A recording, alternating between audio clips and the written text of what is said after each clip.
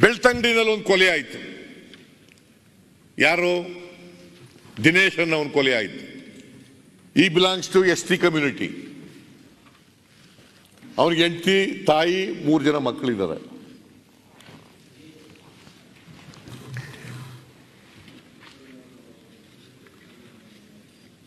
ಕೃಷ್ಣ ಅನ್ನೋನು ಓಡಾಡಿಸ್ಕೊಂಡು ಕೊಲೆ ಮಾಡಿದ್ದಾನೆ.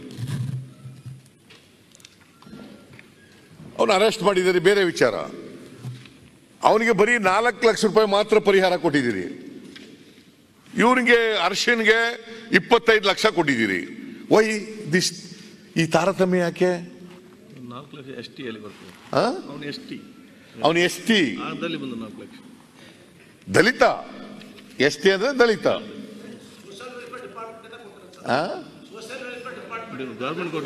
ಅದು ಸೋಷಿಯಲ್ ವೆಲ್ಫೇರ್ ಡಿಪಾರ್ಟ್ಮೆಂಟ್ ಇಂದ ಕೊಟ್ಟಿರೋದು. ಗೊತ್ತು ಗೊತ್ತು ನನಗೆ. ನಾನು ಹೋಗಿದ್ದೆ ಅಲ್ಲಿಗೆ. ಸೋಷಿಯಲ್ ವೆಲ್ಫೇರ್ ಡಿಪಾರ್ಟ್ಮೆಂಟ್ ಸರ್ಕಾರದ ಇಲಾಖೆ ಅಲ್ವಾ ಅದು? ಅದು ಸರ್ಕಾರದ ಆಯ್ತಪ್ಪ. ಅಲ್ವಾ why you not given it twenty five lakh ಸರ್ಕಾರ ಘೋಷಣೆ ಡಿಪಾರ್ಟ್ಮೆಂಟ್ ಇಂದ ಘೋಷಣೆ ಆಯ್ತು. ಅದು ಎಲ್ರಿಗೂ ದಲಿತರು ಸತ್ತೋದ್ರೆ ಎಲ್ರಿಗೂ ಕೊಡ್ತಾರೆ. ಸರ್ಕಾರ ಅಂದ್ರೆ ಐದು ಎಲ್ಲರಿಗೂ ಲಕ್ಷ ಸಮಾನತೆ ರೂಪಾಯಿ ಎಲ್ರಿಗೂ ಕೊಡ್ತಾರೆ. ಸರ್ ಮಾನ್ಯ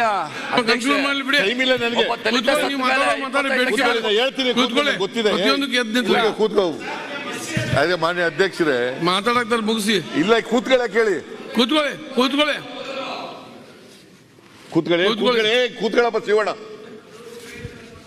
ಮನೆ ಅಧ್ಯಕ್ಷರೇ ಇವ್ರಿಗೂ ಇಪ್ಪತ್ತೈದು ಲಕ್ಷ ಕೊಡ್ಬೇಕ ಬೇಡ? ಬಜರಂಗ್ ದಳದವನು ಕೊಂದಿರೋದು. ಅರ್ಶನ್ಗೆ ಇಪ್ಪತ್ತೈದು ಲಕ್ಷ ಕೊಡ್ತೀರಿ? ಓಕೆ ವಿ ನೋ ಅಬ್ಜೆಕ್ಷನ್ ಇವನ್ಗೆ ಯಾಕೆ ಕೊಟ್ಟಿಲ್ಲ? ದಲಿತ ಅಂತ ಕೊಟ್ಟಿಲ್ವಾ? ಅಥವಾ ಕಾಂಗ್ರೆಸ್ನವನು ಅಂತ ಕೊಟ್ಟಿಲ್ವಾ? ಇವನ್ ಬಿಜೆಪಿ ಸೇರಿಲ್ಲ ಅಂತ ಕೊಟ್ಟಿಲ್ವಾ?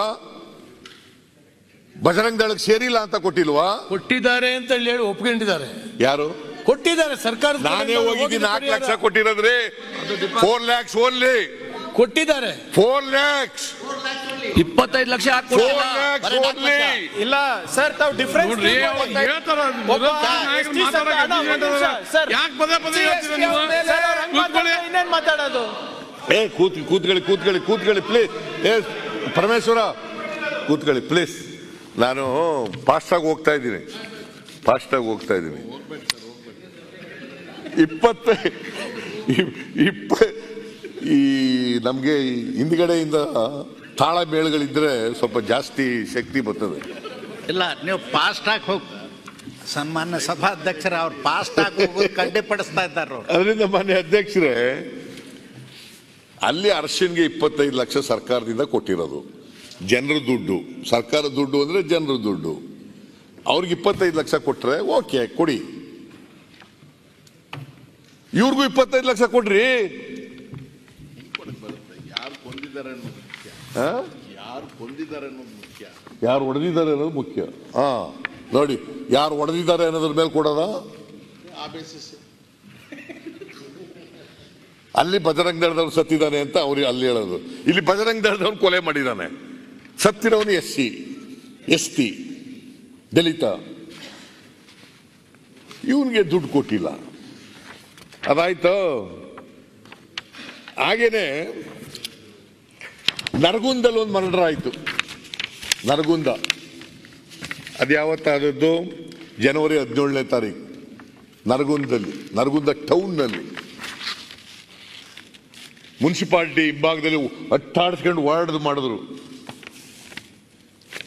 ಹೇಳಿ ಇವ್ರಿಗೆ ಅರ್ಗ ಅರ್ಗ ಜ್ಞಾನೇಂದ್ರ ಇವತ್ತವರೆಗೂ ಒಂದು ರೂಪಾಯಿ ಕೊಟ್ಟಿದ್ದೀರಾ ಅವರಿಗೆ? ಹದಿನೇಳನೇ ತಾರೀಕು ಜನವರಿ ಹದಿನೇಳನೇ ತಾರೀಕು ಮರ್ಡರ್ ಆದದ್ದು. ಹತ್ತು ಇಪ್ಪತ್ತು ವರ್ಷ. ಇಪ್ಪತ್ತು ವರ್ಷ. ಸಮೀರ್ ಸುಬಾರ್ ಸುಬಾನ್ ಸಾಬ್.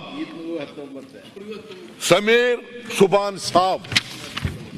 ಅವ್ರ ಮರ್ಡರ್ ಆಯ್ತು ಶಂಸೀರ್ ಖಾನ್, ಪಠಾಣ್ ಅವರಿಬ್ಬ ಅವ್ರಿಗೂ ಚೂರಿ ಹಾಕಿದ್ರು. ಅವ ಬದುಕಬಿಟ್ಟ ಪಾಪ ಆಸ್ಪತ್ರೆಗೆ. ಇವನು ಬದುಕಲಿಲ್ಲ. ಸಮೀರ್ ಸುಬಾನ್ ಸಾಬ್ ಬದುಕಕ್ಕಾಗಲಿಲ್ಲ. ಇಪ್ಪತ್ತು ವರ್ಷದ ಯುವಕ.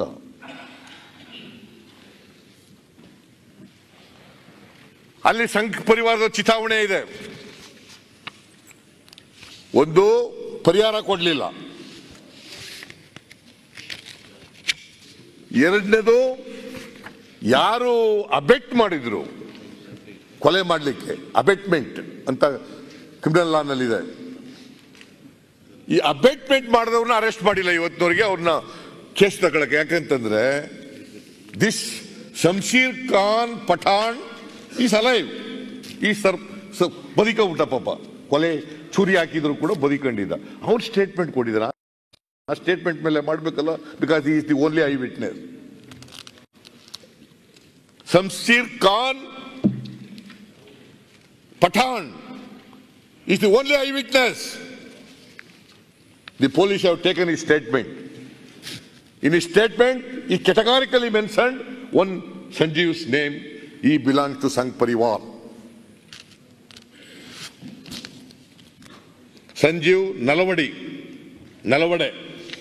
Sanjeev Nalavade. He has not been arrested. Case is not registered against him. ಕಾನೂನು ಎಲ್ರಿಗೂ ಒಂದೇ ಅಲ್ಲ? ಪರಿಹಾರ ಇವ್ರಿಗೂ ಕೊಡಬೇಕಾಗಿತ್ತಲ್ಲ? ಆ ಶಂಶೀರ್ ಖಾನ್ಗೆ ಅವನಿಗೂ ಇಂಜೂರ್ಡ್ಗೆ ಕೊಡಬೇಕಾಗಿತ್ತಲ್ಲ? ದುಡ್ಡು ಕೊಡ, ಪರಿಹಾರ ಕೊಡಬೇಕಾಗಿತ್ತಲ್ಲ?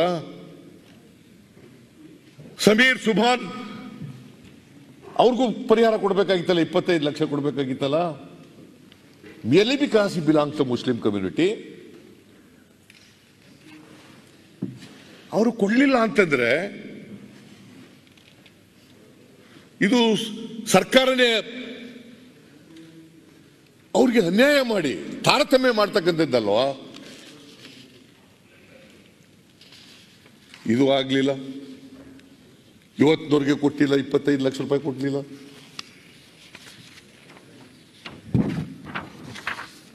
ಆಮೇಲೆ ಒಬ್ಬ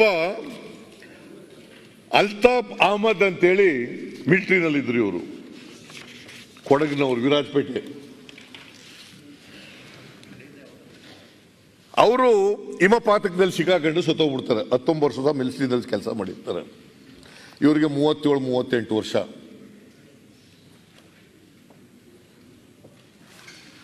ಅಲ್ಲೆಲ್ಲ ಇಲ್ಲ ಇವರು ನಮ್ಮ ಕೊಡಗು ಅವರು ಎಂ ಎಲ್ ಎ.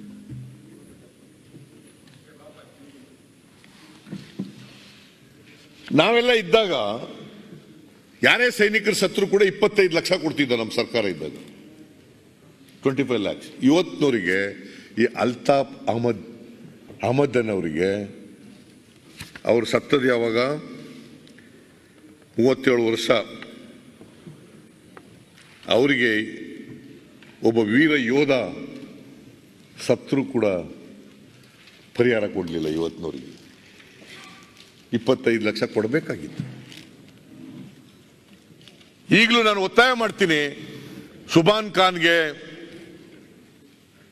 ದಿನೇಶ್ಗೆ, ಅಲ್ತಾಫ್ ಅಹಮದ್ಗೆ ಕೂಡಲೇ ಇಪ್ಪತ್ತೈದು ಲಕ್ಷ ಇಪ್ಪತ್ತೈದು ಲಕ್ಷ ಇಪ್ಪತ್ತೈದು ಲಕ್ಷ ಕೊಡಬೇಕು ಅಂತೇಳಿ ಸರ್ಕಾರವನ್ನು ಒತ್ತಾಯ ಮಾಡ್ತೀನಿ. ಯು ಕೆನಾಟ್ ಡಿಸ್ಕ್ರಿಮಿನೇಟ್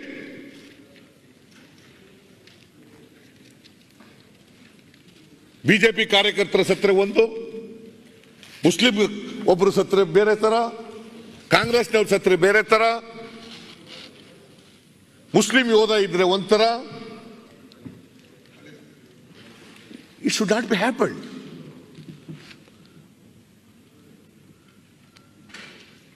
ಸರ್ವ ಜನಾಂಗದ ಶಾಂತಿಯ ತೋಟ. ಕುವೆಂಪು ಅವರು ಹೇಳಿರೋದು. ಸರ್ವ ಜನಾಂಗದ ಶಾಂತಿಯ ತೋಟ. ನೀವು ಹೇಳ್ತೀರಿ, ಸಬ್ಕ ಸಾಥ್, ಸಬ್ಕ ವಿಕಾಸ್. ಎಲ್ಲಿದೆ? ಸಬ್ಕ ಸಾಥ್, ಸಬ್ಕ ವಿಕಾಸ್, ಸಬ್ಕ ವಿಶ್ವಾಸ್. ಇದೇನಾ? ಸಬ್ಕ ಸಾಥ್, ಸಬ್ಕ ವಿಶ್ವಾಸ, ಸಬ್ಕ ವಿಕಾಸ್. ಇದೇನಾ? ಒಬ್ಬೊಬ್ಬರಿಗೂ ಒಂಥರ ಒಬ್ಬರಿಗೆ ಸುಣ್ಣ ಇನ್ನೊಬ್ಬರಿಗೆ ಬೆಣ್ಣೆ. ಒಬ್ಬರ ಕಣ್ಣಿಗೆ ಸುಣ್ಣ, ಇನ್ನೊಬ್ಬರ ಕಣ್ಣಿಗೆ ಬೆಣ್ಣೆ. ಅದು ಹೇಳೋದು ಮಾತ್ರ ಸಬ್ಕ ಸಾಥ್, ಸಬ್ಕ ವಿಶ್ವಾಸ್, ಸಬ್ಕ ವಿಕಾಸ್.